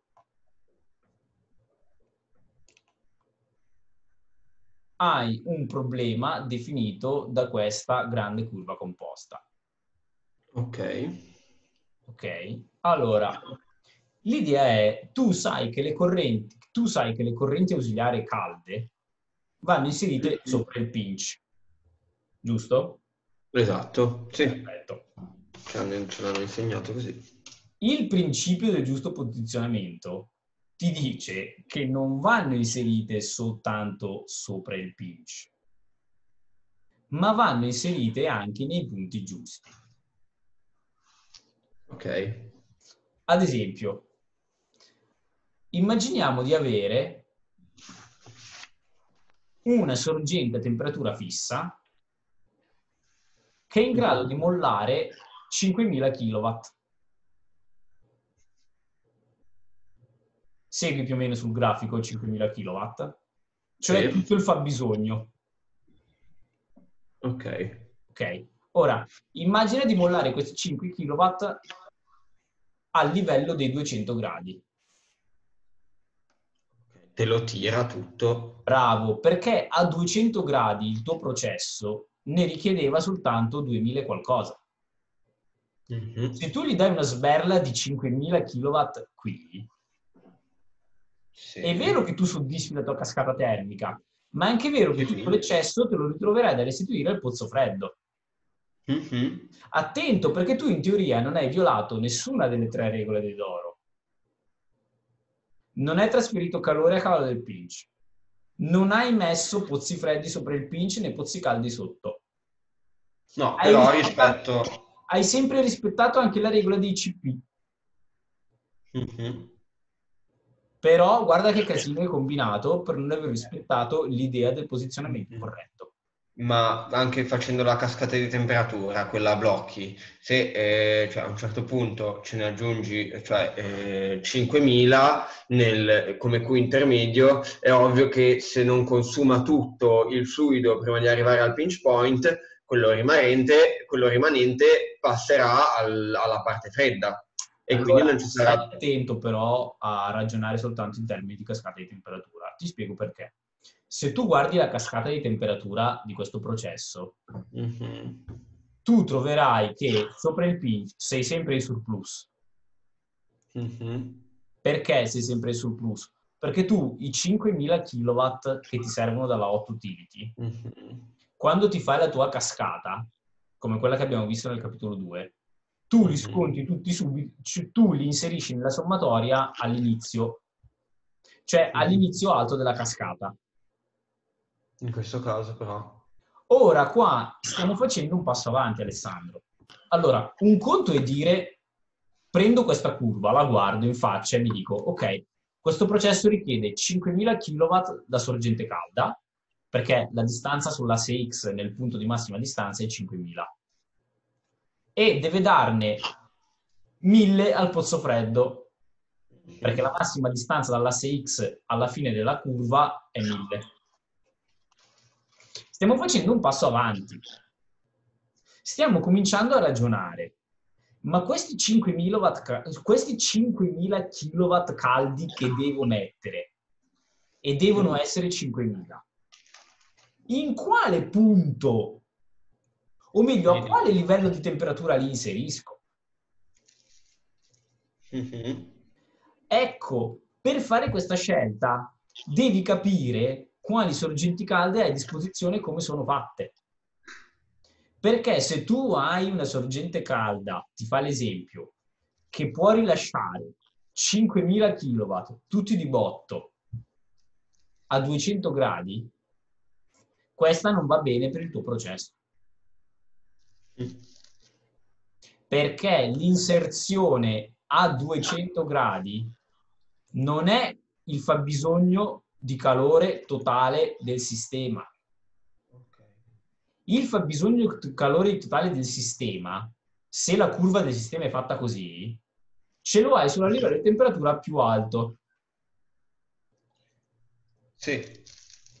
Cioè se ci avessi una, diciamo, un fornitore di calore che, te, che, è in grado di darti 5000 kW a 300 gradi centigradi o quelli che sono, allora lì ti va bene. Oh, esatto, perfetto. Se tu questi 5000 kW li potevi rilasciare a 300 gradi, quella sorgente andava bene per il tuo processo. Chiaro. Viceversa, come puoi ovviare? Se tu hai una sorgente che te ne può rilasciare 2005 a 200 e 2005 a 300, questa combo va bene per il tuo processo. Mm-hmm. È chiara l'idea quindi del principio del buon posizionamento? Mm, ok, uh, cioè sì, mm, però cioè, indaghiamo un attimo perché... Allora, mm, immagina di avere a disposizione soltanto pozzi caldi o freddi a temperatura costante. Ok. Ok? Non puoi scegliere le temperature. Chiaro. Ora, mettiamoci nell'ipotesi che comunque ce n'è sempre una di temperatura abbastanza elevata da dare calore fino alla fine della curva. Ok. Bene, se puoi scegliere le quantità di calore da trasferire ma non le temperature, devi giocartela mm. con i gradini Ok. Nel senso, eh, il... che tu non puoi scegliere la posizione del gradino lungo l'asse delle te- te- te- temperature, ma sei abbastanza fortunato da scegliere la profondità del gradino. Ok. Ok, è un modo. Se viceversa, seguimi, non puoi scegliere la profondità del gradino, cioè tu sai che i kilowatt sono quelli, punto, mm-hmm. devi riuscire a trovare un punto in cui la temperatura del tuo pozzo caldo, in questo caso, mm-hmm. fitta con lo spazio che ti manca a quel livello. Ho capito, sì, ci sono. Non devi finire in situazioni di questo tipo. Certo. Se tu hai questo delta H fisso, sovraccarichi a 200 gradi, non lo puoi usare per questo processo.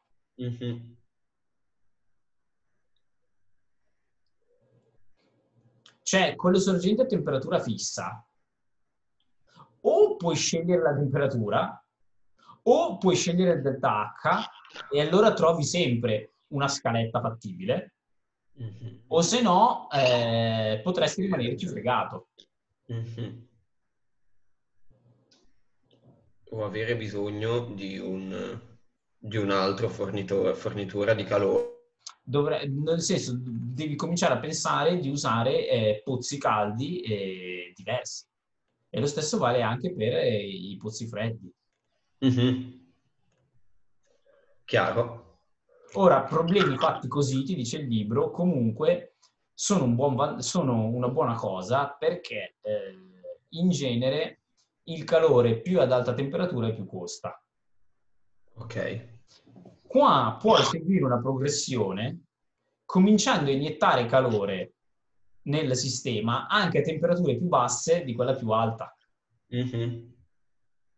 Se il calore a 200 gradi costa meno di quello di 300, ti conviene fare questo gradino. Sì. Non mm-hmm. ti conviene sparare tutti 5000 kW a 300. Sì, sì, sì. Ovviamente ci sono do- due parametri, cioè il, il, costo, diciamo, ipoteticamente del fluido di servizio per farti andare e l'apparecchiatura. Perché in un caso hai un'apparecchiatura a 300 gradi che ti porta tutto il calore, nell'altro, nell'altro caso hai due apparecchiature a 300 e a 200 gradi. Sì, però tu stai già mischiando nella tua testa i costi immobilizzati e i costi... Sì, sì, sì, sì. Quindi sì, stai so. attento. No, eh, è, giusto, no, è... è giusto che tu abbia in testa tante cose, però stai attento a non usarle tutte nello stesso momento. Ok.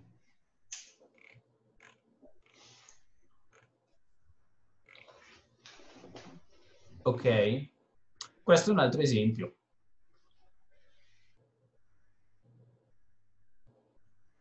Guarda questo esempio qui, è ancora più interessante. Mm-hmm. Allora, tu hai una grande curva composta che arriva fino a 160 gradi. Ok, questa è la temperatura più alta a cui entrano gli stream nella tua tabelle. 160 gradi. Eppure, utilizzando il principio del buon posizionamento, tu puoi fornire il calore a 100 gradi. Mm-hmm. Perché?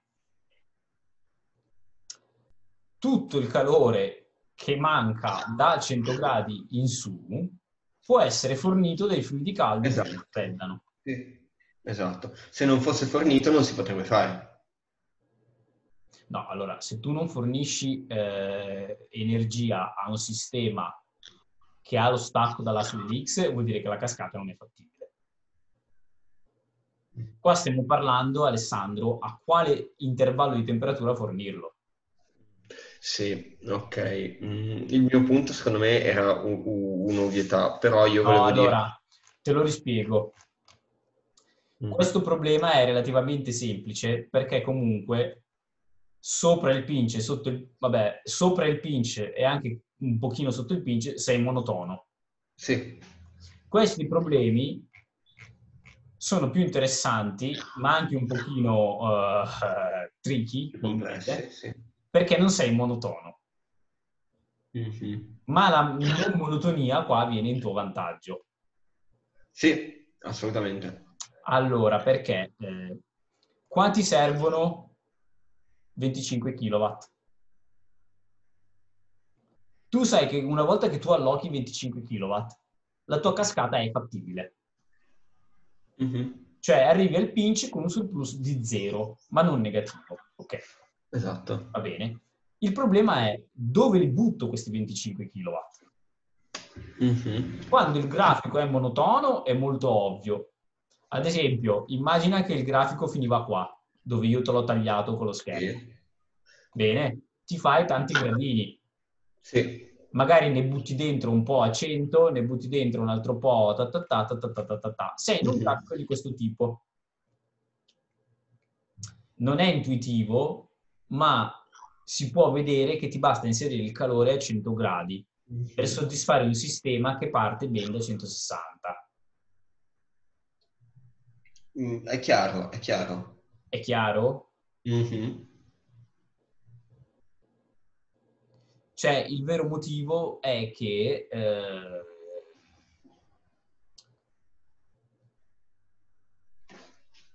se tu inserisci il calore qua,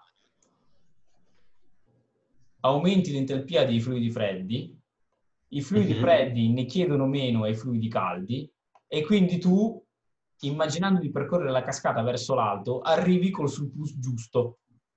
Sì. Mm-hmm. Non lo puoi fare sempre, però in questo caso sì. Mm-hmm. Cioè, è come dire, ricordati l'esempio del capitolo 2, in cui la cascata all'inizio era positiva e diventava negativa in mezzo. Poi tu aggiungi la hot utility e la cascata diventa maggiore o uguale di zero dovunque e quindi diventa fattibile. Uh-huh. In questo tipo di problemi in cui la grande curva composta non è monotona, tu cosa succede? È vero, la cascata se non inserisco una hot utility non è fattibile, ma immagina di cominciare a sfruttare con riserva mentale il surplus di entalpia che hai a alte temperature. Mm-hmm. Sì, sì. Senza aggiungere la hot utility. Ok? A un certo punto, quando hai finito il surplus di entalpia e stai per diventare negativo e quindi stai per dimostrare al mondo che la tua cascata è infattibile, a quel punto gli butti dentro la hot utility. Chiaro, chiaro, sì, sì, sì. In un problema di questo tipo non lo puoi fare sto gioco eh no, no, perché, perché ci la non monotonia della curva ti fa sì che se tu non inserisci almeno un po' di calore, almeno un po' di calore a 300, tu diventi con surplus negativo fin da subito. Mm-hmm. E quindi il trucco non riesce. Chiaro, cioè chiaro. è come una partita di poker in cui tu stai barando e c'hai l'asso nella manica. sì, sì, partita, se, ecco, se la partita è fatta così, tu l'asso dalla manica lo devi fuori subito. Mm-hmm. Ti servirà sempre un po' di calore a 300 gradi. Questo sì. il gioco dei gradini ti può fare uno sconto, ma non ti può salvare dal fatto che prima o poi dovrai inserire almeno una frazione di calore alla temperatura più alta possibile. Mm-hmm. Viceversa, questi grafici qua sono come partite in cui l'asso nella manica ti serve solo alla fine e puoi andare avanti per tutta la serata bleffando. Perché se il processo è fatto così, il tuo bluff non viene scoperto finché non sei vicino al pinch. Eh sì, non ne hai bisogno nelle parti più alte. Questa è una cosa che se pensi alla tabella della cascata di temperature, se guardi il grafico si capisce, ma spiegarla a parole con i ragionamenti mi rendo conto è veramente impestato. Chiaro. Ora, questo discorso, il principio del buon posizionamento, serve a farti capire quando nella pratica tu devi inserire calore e quanto veramente all'inizio della cascata e quando no. Mm-hmm. Cioè nell'impianto dove mettere iter, gli iter e quanto far scaldare da questi. Esatto. Lo stesso vale qua, guarda, per il pozzo freddo. Mm-hmm. In realtà tu il calore questi 60 kW non li devi tirare via tutti a 20 gradi, puoi cominciare a tirarli via a 60. Mm-hmm. Perché? Perché evidentemente da 60 a 20 c'è eh, qualche fluido freddo che entra nel sistema a 20 gradi e può portare via lui il calore in eccesso dei fluidi, che, dei fluidi caldi che devono raffreddarsi. Mm-hmm è solo da 60 gradi in su che i fluidi caldi hanno bisogno di un pozzo freddo esterno perché non hai più fluidi freddi in grado di assumere la loro entalpia. Chiaro. E queste cose le vedi molto meglio dal grafico che, ripeto, non dai discorsi, purtroppo. Mm-hmm. Adesso andiamo a introdurre il concetto delle utility pinches. Allora, dobbiamo fare un altro passo in più. Ok. Immagina adesso di farti dei grafici, le cosiddette grandi curve composte bilanciate, in cui tu sottrai, sempre nel senso delle entalpie, le righe tratteggiate dalla riga continua. Okay. Cioè, se questa è la rappresentazione grafica delle correnti di servizio, tu mm-hmm. fai la sottrazione del processo con la corrente di servizio. Sì, sì, sì. Perfetto. Guarda cosa viene fuori. Vengono fuori le cosiddette correnti bilanciate. Te lo introduco subito, poi torno su e ti spiego il resto. Bene, questa okay. è una grande okay. curva composta bilanciata. Ok, era quello che mi aspettavo. Perché ti accorgi che è bilanciata? Perché tu, in teoria, hai un doppio threshold problem.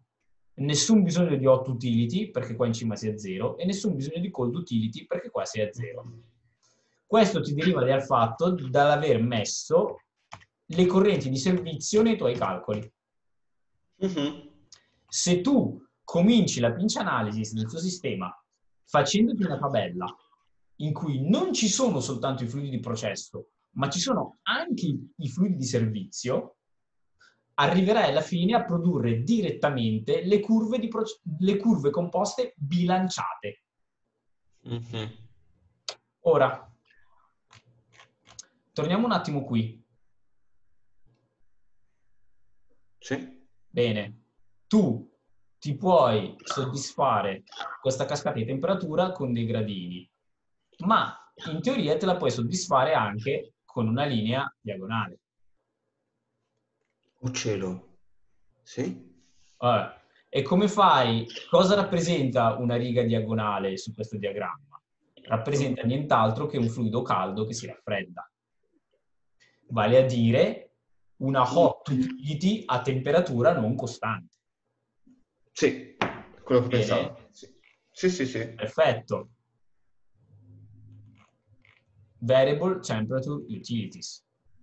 Tada! Chiarissimo. No. Qua ti fa vedere tre hot utilities che potrebbero soddisfare al caso nostro. Mm-hmm. Allora, in un caso ti dice tu hai a disposizione calore alla temperatura massima fissa di 360. ok? Mm-hmm. Allora, la riga diagonale più esterna corrisponde a una certa portata massica. Chiaro. La riga diagonale più interna corrisponderà a una certa portata massica.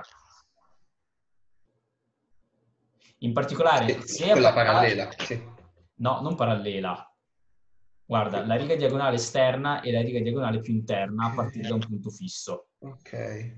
Allora, vedi che a parità di delta H, uh-huh. questa linea perde meno temperatura, questa linea ne perde di più. Uh-huh. Quindi vuol dire che qui tu a partire da un punto fisso ti stai muovendo su portate massiche differenti. Uh-huh. Viceversa, se la portata massica è fissa, ma non la temperatura finale, puoi traslare rigidamente questa qui e fare la curva puntinata. Ok. La curva puntinata, se tu ce la puoi avere, è ancora meglio. Mm-hmm. Perché eh, graficamente sei ancora più vicino alla tua grande curva composta di processo. Sì, chiaro. E quindi non hai bisogno di salire fino a 360 gradi, puoi rimanere diciamo fino a 340. Mm-hmm. Questo però, insomma, dipende da quello che puoi fare, dipende da cosa hai a disposizione. Mm-hmm. Qua ti fa vedere un altro esempio con eh, quando hai un sistema a, a ricircolo. Allora, un sistema a ricircolo, tipicamente con olio di atermo, può essere comodo quando fare questo fitting con un fumo di combustione ti riesce difficile.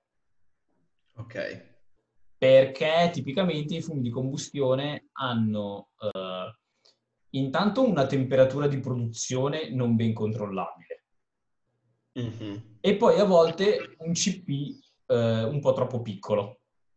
Ok. Viceversa, eh, se tu metti in mezzo un circuito fatto così, con un fluido termovettore di portata molto ben controllata, mm-hmm di calore specifico molto ben controllato, allora tu ti puoi ottenere la curva tratteggiata virtualmente come la vuoi tu. Perché tu in questo, fluido, in questo circuito intermedio puoi scegliere sia la temperatura sia la portata sia il CP cambiando, cambiando fluido. Sì. Cioè, il fumo di combustione che ha tante incognite eh, serve solo a mantenerti un certo delta H.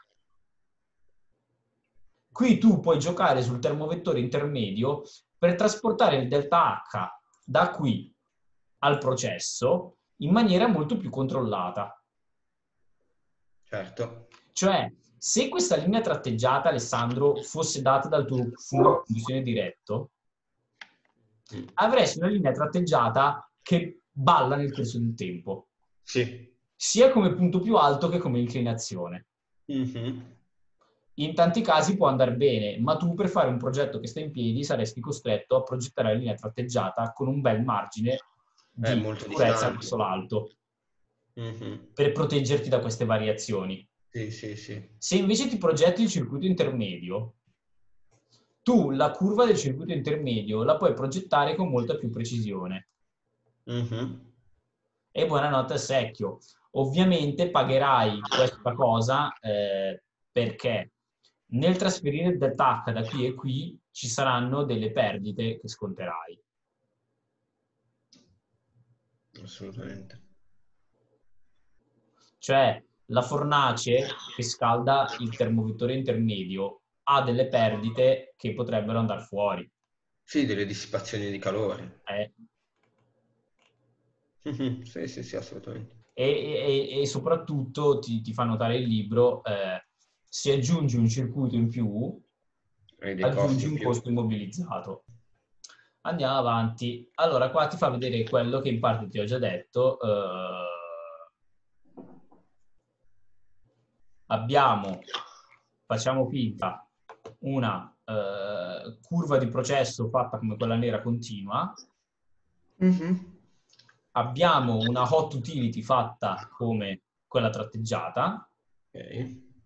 Abbiamo la versione traslata. E abbiamo la curva eh, composta bilanciata. Chiaro, Attenzione, sì. battaglione. Mm. Notiamo una cosa interessante. Nella curva composta bilanciata, Alessandro, tu vedi due pinch point che in realtà non appartengono al processo reale. Perché la curva nera di partenza sì. è, è, mm, il pinch ce l'ha qui. Ce l'ha? ce l'ha a eh, 50 gradi ed è comunque diciamo un threshold problem. Mm-hmm. Adesso da dove arrivano questi due pinch qua? Questi sono i cosiddetti pinch dell'utility.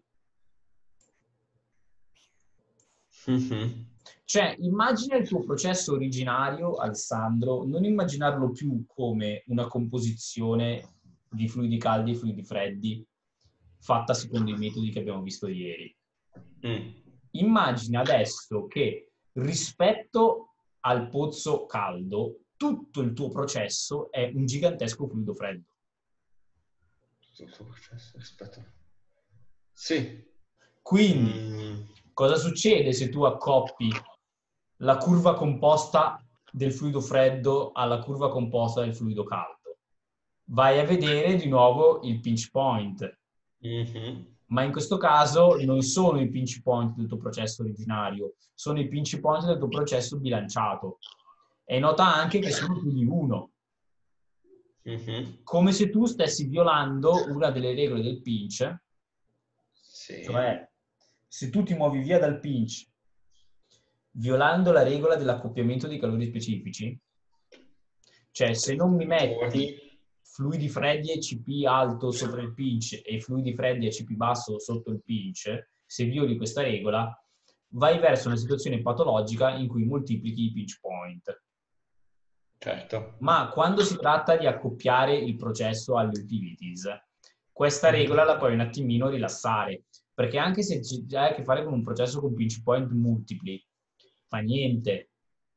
Mm-hmm. Guarda, hai una sorgente a temperatura fissa che entra qui Uh-huh. Una sorgente a temperatura fissa che entra qui. Qualcosa di temperatura variabile che fa questo pezzo e qualcosa a temperatura variabile che fa quest'altro pezzo. Uh-huh. Questo è un caso in cui il principio del buon posizionamento va con la realtà. Sì, Perché li hanno aggiunti... Ad esempio ti hanno detto, guarda, questi kilowatt sono per forza a 400 gradi, non te li posso dare a di meno. Mm-hmm. Te ne posso dare però un altro po' a 200, a temperatura fissa. Viceversa c'è in giro della roba a temperatura variabile a diverse temperature. Mm-hmm. Allora, qua ad esempio di utility pinch ne avresti due, uno e due, se usi la curva a puntini. Allora, uno e due, sì. Sì, sì, sì. Ovviamente anche gli utility pinch sono importanti. Mm-hmm. Eh, perché comunque sono i punti in cui il trasferimento di calore dal pozzo caldo al sistema è più critico. Ok. Allora, qui purtroppo non ti disegna anche le curve bilanciate. No, però in questo caso, ad esempio, si avrebbe dai 60 ai 30 gradi quella specie di triangolo che viene traslato sull'asse orizzontale, cioè scusa, sul... Uh, um, sì, bravo, esatto. Avresti una curva fatta così, sotto, linea nera indisturbata. Esatto. Poi, poi a zero. Traslazione orizzontale. Esatto. E poi il trapezio. una cosa così, perfetto. Esatto. E quindi individueresti un pinch utility qua a 60. Esatto. esatto. È analogo per il pezzo sopra. Esatto, curva nera indisturbata fino a qui, traslazione rigida orizzontale e poi triangolone. Perfetto. Con un pinch utility qua e uno ovviamente in cima. Mm-hmm. Bene. Io oggi mi fermerei qua perché comunque di carne al fuoco secondo me ne ho messa tanta, cosa dici?